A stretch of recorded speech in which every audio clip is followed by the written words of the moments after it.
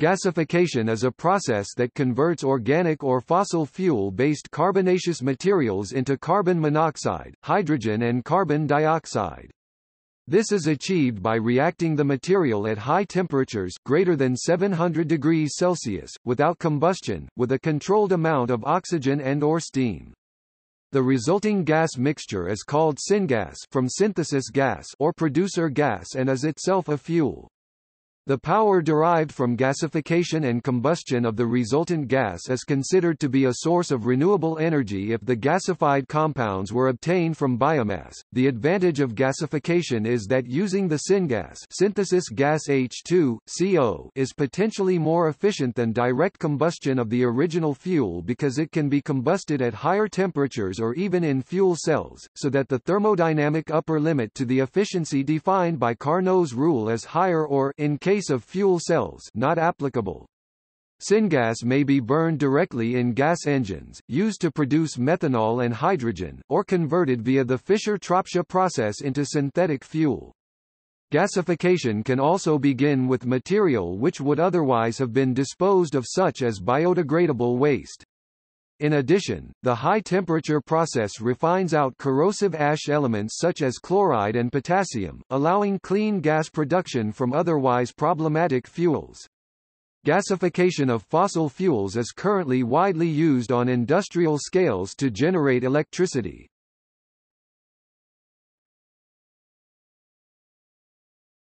Topic: History The process of producing energy using the gasification method has been in use for more than 180 years.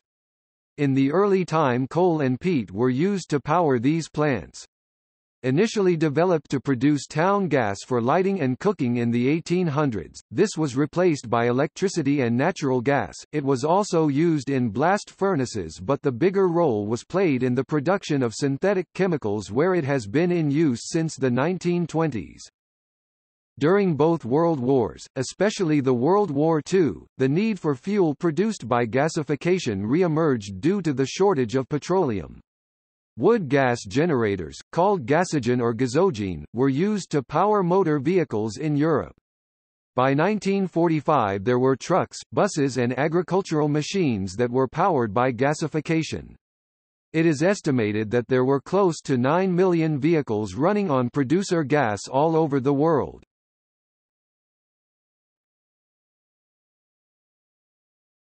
Topic: Chemical reactions. In a gasifier, the carbonaceous material undergoes several different processes. The dehydration or drying process occurs at around 100 degrees Celsius. Typically the resulting steam is mixed into the gas flow and may be involved with subsequent chemical reactions, notably the water-gas reaction if the temperature is sufficiently high see step number 5. The pyrolysis or devolatilization process occurs at around 200 to 300 degrees Celsius. Volatiles are released and char is produced, resulting in up to 70% weight loss for coal. The process is dependent on the properties of the carbonaceous material and determines the structure and composition of the char, which will then undergo gasification reactions. The combustion process occurs as the volatile products and some of the char react with oxygen to primarily form carbon dioxide and small amounts of carbon monoxide, which provides heat for the subsequent gasification reactions.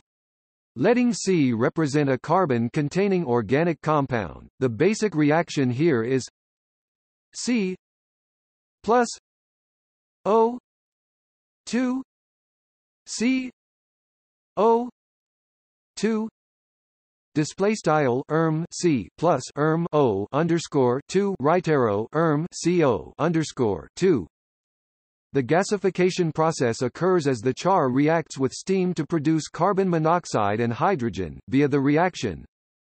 C. Plus H 2 O H 2 plus C O. Display style erm c plus erm h underscore two erm o. Right arrow erm h underscore two plus erm co In addition, the reversible gas-phase water-gas shift reaction reaches equilibrium very fast at the temperatures in a gasifier. This balances the concentrations of carbon monoxide, steam, carbon dioxide and hydrogen. C. O plus H 2 O left right arrow C O 2 plus H 2 Display style erm co plus erm h underscore two erm o left right arrow erm co underscore two plus erm h underscore two. In essence, a limited amount of oxygen or air is introduced into the reactor to allow some of the organic material to be burned to produce carbon dioxide and energy, which drives a second reaction that converts further organic material to hydrogen and additional carbon dioxide. Further reactions occur when the formed carbon monoxide and residual water from the organic material react to form methane and excess carbon dioxide. 4 C O plus 2 H 2 O C H 4 plus 3 C O two display style 4 erm co plus 2 erm h underscore 2 erm o right arrow erm ch underscore 4 plus 3 erm co underscore 2 this third reaction occurs more abundantly in reactors that increase the residence time of the reactive gases and organic materials, as well as heat and pressure. Catalysts are used in more sophisticated reactors to improve reaction rates, thus moving the system closer to the reaction equilibrium for a fixed residence time.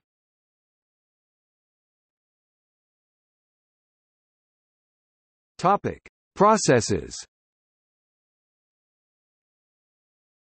Several types of gasifiers are currently available for commercial use, counter-current fixed bed, co-current fixed bed, fluidized bed, entrained flow, plasma, and free radical.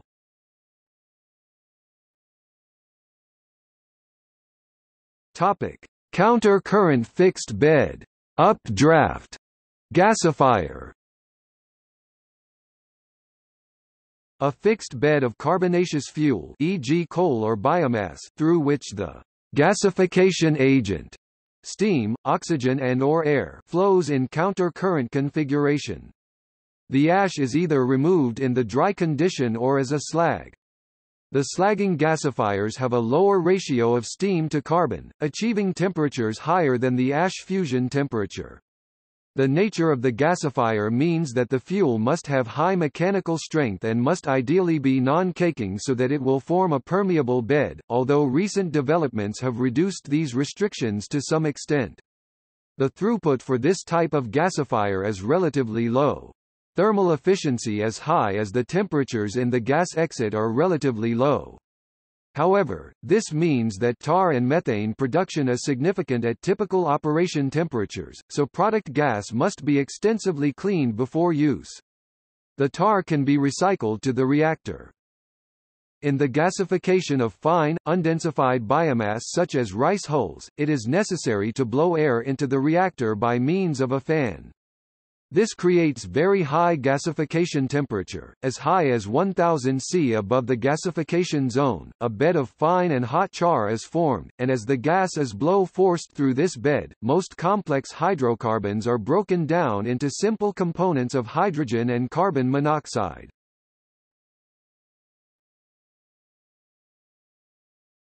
Topic: Co-current fixed bed, down draft gasifier. Similar to the counter-current type, but the gasification agent gas flows in co-current configuration with the fuel downwards, hence the name, downdraft gasifier. Heat needs to be added to the upper part of the bed, either by combusting small amounts of the fuel or from external heat sources. The produced gas leaves the gasifier at a high temperature, and most of this heat is often transferred to the gasification agent added in the top of the bed, resulting in an energy efficiency on level with the counter current type. Since all tars must pass through a hot bed of char in this configuration, tar levels are much lower than the counter current type.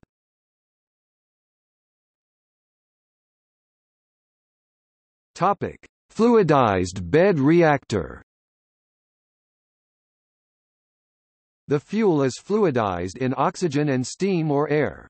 The ash is removed dry or as heavy agglomerates that defluidize.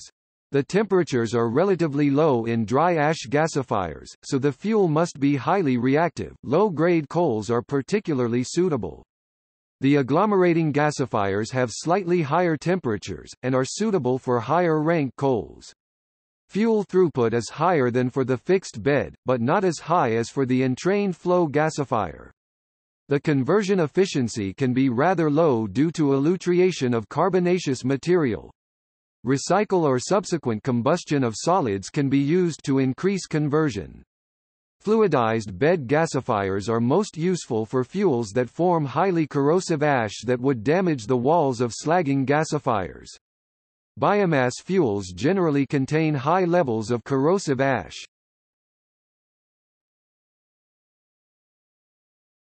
Topic: Entrained flow gasifier.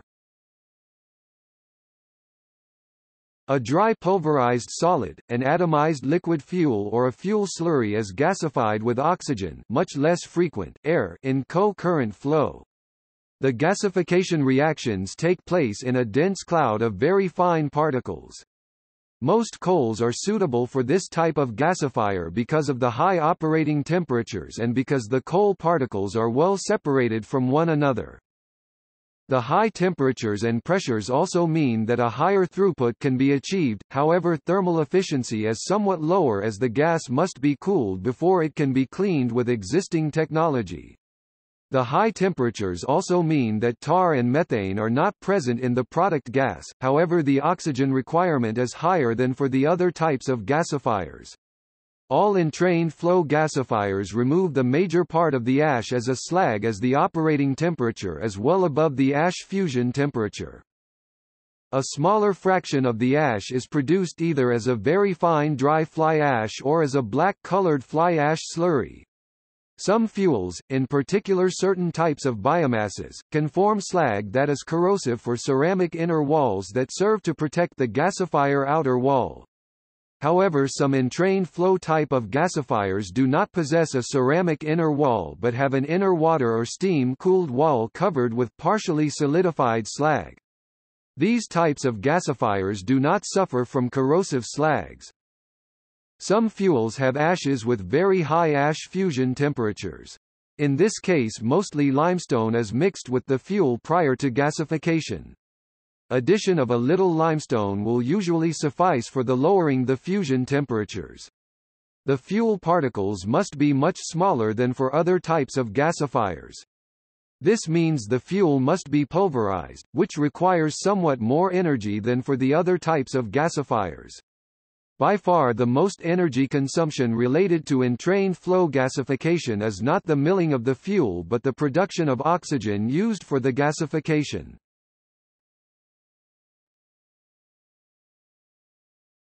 Topic: Plasma gasifier. In a plasma gasifier a high voltage current is fed to a torch, creating a high temperature arc. The inorganic residue is retrieved as a glass-like substance.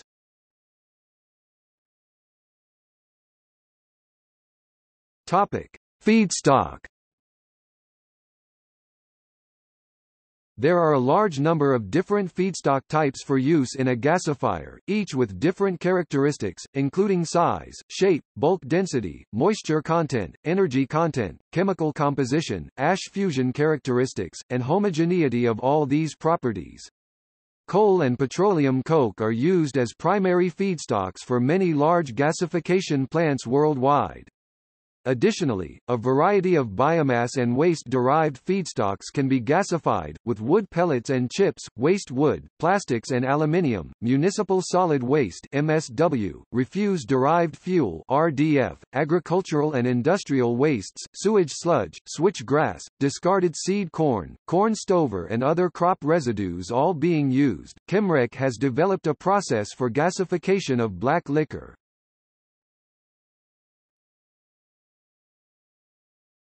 Topic: Waste disposal.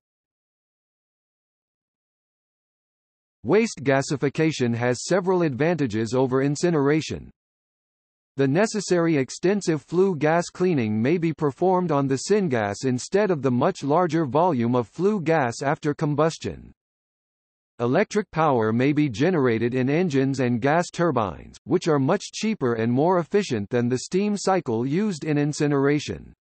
Even fuel cells may potentially be used, but these have rather severe requirements regarding the purity of the gas. Chemical processing gas to liquids of the syngas may produce other synthetic fuels instead of electricity.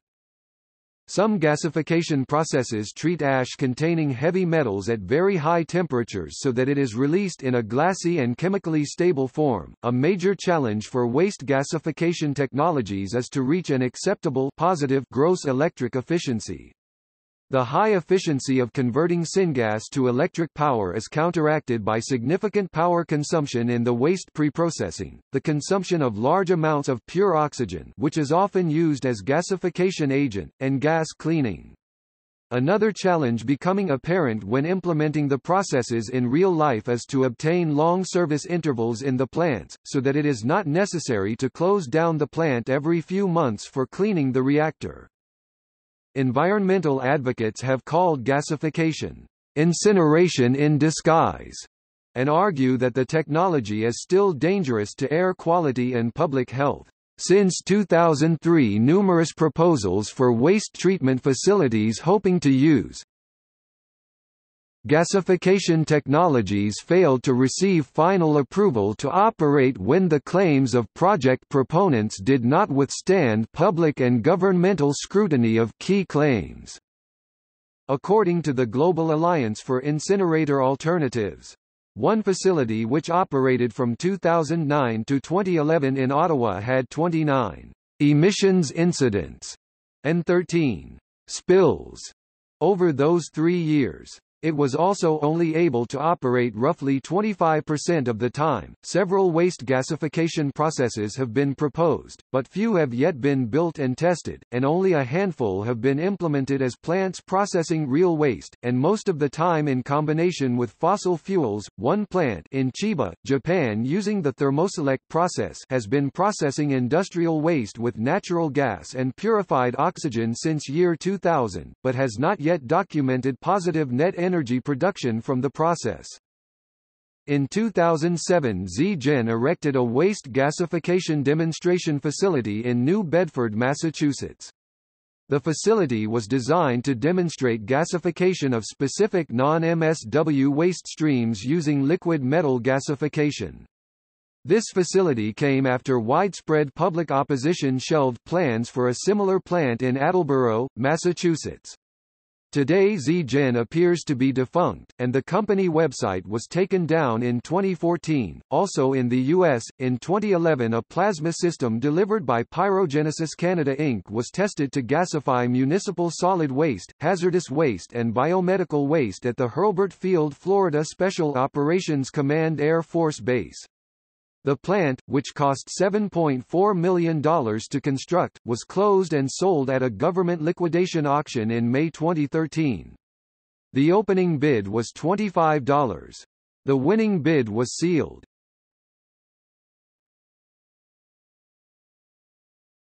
Topic: Current applications.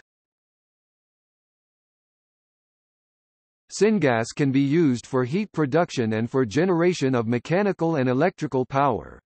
Like other gaseous fuels, producer gas gives greater control over power levels when compared to solid fuels, leading to more efficient and cleaner operation. Syngas can also be used for further processing to liquid fuels or chemicals.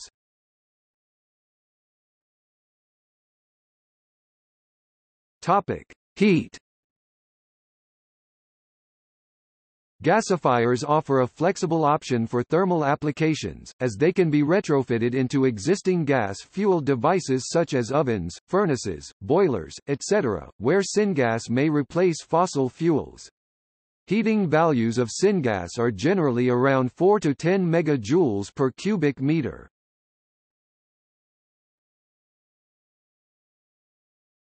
Topic: Electricity Currently industrial-scale gasification is primarily used to produce electricity from fossil fuels such as coal, where the syngas is burned in a gas turbine. Gasification is also used industrially in the production of electricity, ammonia and liquid fuels oil using integrated gasification combined cycles IGCC, with the possibility of producing methane and hydrogen for fuel cells. IGCC is also a more efficient method of CO2 capture as compared to conventional technologies. IGCC demonstration plants have been operating since the early 1970s and some of the plants constructed in the 1990s are now entering commercial service.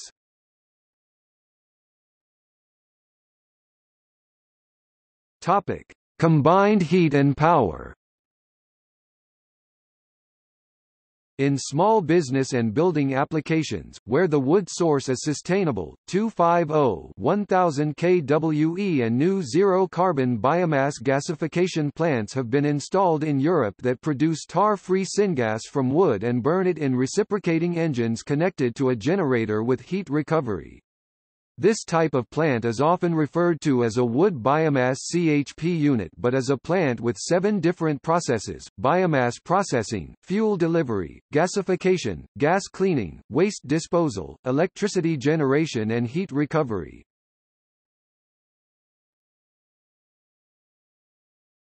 Topic. Transport fuel Diesel engines can be operated on dual-fuel mode using producer gas. Diesel substitution of over 80% at high loads and 70 to 80% under normal load variations can easily be achieved. Spark ignition engines and solid oxide fuel cells can operate on 100% gasification gas. Mechanical energy from the engines may be used for e.g. driving water pumps for irrigation or for coupling with an alternator for electrical power generation. While small-scale gasifiers have existed for well over 100 years, there have been few sources to obtain a ready-to-use machine. Small-scale devices are typically DIY projects. However, currently in the United States, several companies offer gasifiers to operate small engines.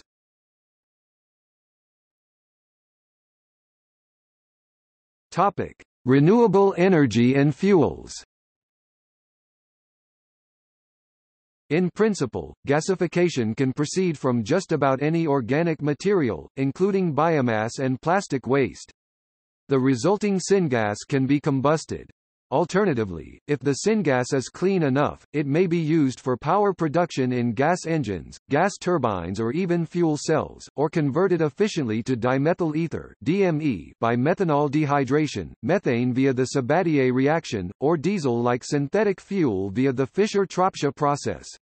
In many gasification processes most of the inorganic components of the input material, such as metals and minerals, are retained in the ash. In some gasification processes slagging gasification, this ash has the form of a glassy solid with low leaching properties, but the net power production in slagging gasification is low sometimes negative and costs are higher. Regardless of the final fuel form, gasification itself and subsequent processing neither directly emits nor traps greenhouse gases such as carbon dioxide. Power consumption in the gasification and syngas conversion processes may be significant though, and may indirectly cause CO2 emissions. In slagging and plasma gasification, the electricity consumption may even exceed any power production from the syngas. Combustion of syngas or derived fuels emits exactly the same amount of carbon dioxide as would have been emitted from direct combustion of the initial fuel. Biomass gasification and combustion could play a significant role in a renewable energy economy, because biomass production removes the same amount of CO2 from the atmosphere as is emitted from gasification and combustion.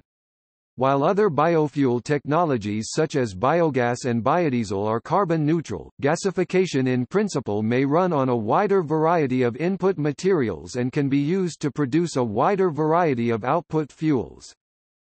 There are at present a few industrial-scale biomass gasification plants.